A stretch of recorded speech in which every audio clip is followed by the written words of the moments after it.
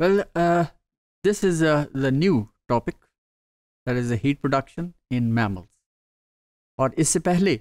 uh, ये हमने heat production in birds में देखा और ये काफ़ी हद तक क्योंकि ये दोनों ग्रुप्स ऑफ़ एनिमल्स जो हैं ये आ, uh, ये कोल्ड वार्म ब्लडेड एनिमल्स हैं तो इनकी असल में हीट प्रोडक्शन तकरीबन एक जैसी ही है तो इसमें आ, uh, आ, जो लाइक like बर्ड्स तो मैमल्स जो हैं, इनकी heat production can warm the body और उसी तरह जिस तरह के बर्ड्स के अंदर है कि बाहर कंडीशंस अगर कूलर हैं तो इनका मेटाबॉलिक रेट भी तेज़ हो जाता है हीट प्रोडक्शन ज़्यादा हो जाती है और इस तरह ये अपनी बॉडी को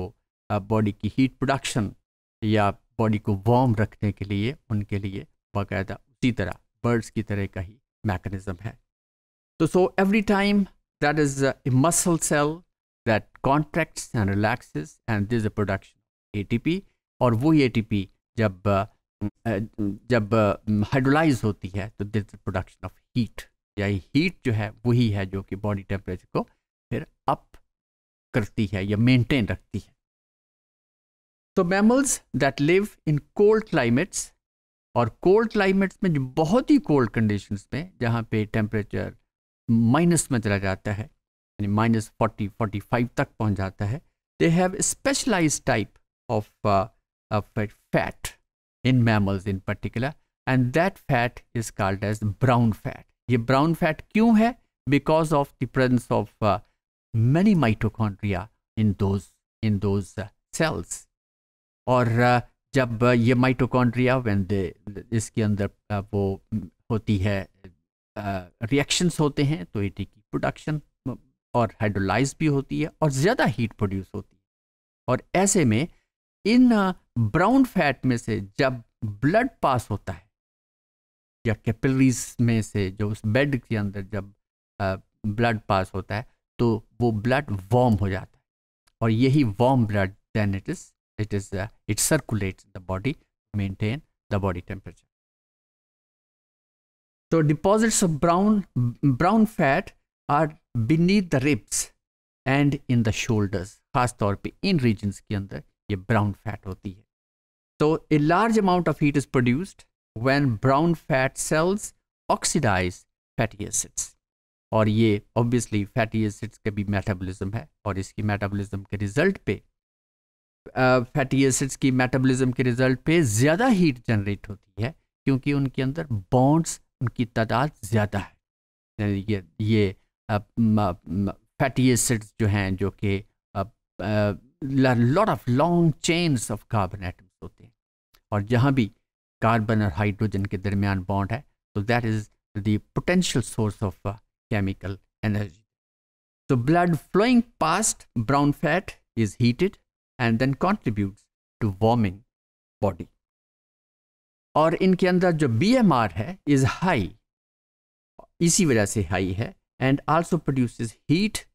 involuntarily but useful it's a byproduct this is a byproduct ये metabolism का byproduct है which is then used to maintain the body temperature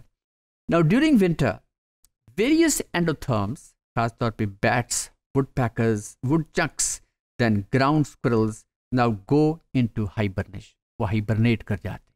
और इस hibernation को हम explain further भी करेंगे uh, next uh, next lecture के अंदर। तो during hibernation the metabolic rate slows as do the heart and breathing rate और इनका बिल्कुल ऐसे ही हो जाते हैं, जैसे ये हाफ़ डेड हैं। और दे आर नॉट एक्टिव क्योंकि बाहर टेम्परेचर बहुत कम होता है। तो ये, वो सिर्फ़ जो हीट जनरेट हो रही है, उसमें सिर्फ़ इतनी है कि वो अपनी लाइफ की लाइफ प्रोसेस जो हैं जो उनके सेल के अंदर या उनकी बॉडी के अंदर हो रहे हैं वही बमुश्किल पूरे होते हैं। और इसलिए हम इसको बी एम आर कहते हैं। तो during hibernation the metabolic rate it slows down और हार्ट रेट भी स्लो डाउन हो जाता है और ब्रीदिंग रेट भी स्लो डाउन हो जाता है। तो the mammals the prepare for hibernation by building up fat reserve and growing long winter pats अब इसमें ये एनिमल्स जो हैं, ये before the onset of this winter extreme winter वो उनका इनटेक बहुत बढ़ जाती है और उनकी जो खाना वाना बहुत खाते हैं और वो फिर वो सारे का सारा then it is in the form of fat it is converted into fat और ये फैट्स जो हैं देन स्टोर्ड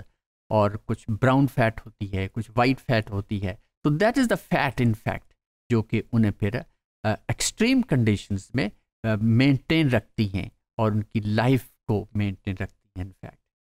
तो this is this is the heat production in mammals तो तरीका वही है जो कि बर्ड्स के अंदर है या बाकी एनिमल्स के अंदर है और लेकिन इनके अंदर मैमल्स के अंदर दिस इज़ समथिंग एडिशनल कि they have the brown fat और which is full of mitochondria उनकी तादाद पर सेल बहुत ज़्यादा है ताकि वो ज़्यादा से ज़्यादा हीट जनरेट करे और हीट और बॉडी टेम्परेचर को मेंटेन रख सके। तो ये क्योंकि हमारा टॉपिक जो है हीट प्रोडक्शन है तो this is the way this is the way कि mammals they, they, they produce heat to maintain their body temperature. So this is all about और अब हाइबरनेशन अब इसके बाद वो अलग टॉपिक हम डिस्कस करेंगे डिटेल में। हाइबरनेशन देन एस्टिवेशन और टॉर्पो तो यहाँ पर this is all about, that is heat production in mammals.